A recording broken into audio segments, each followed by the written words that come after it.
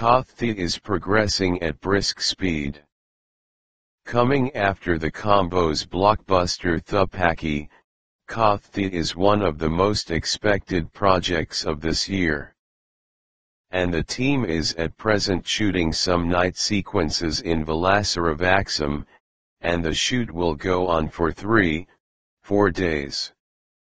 Reportedly, the team will shoot some sequences in China for around 15 days before shifting to its next schedule.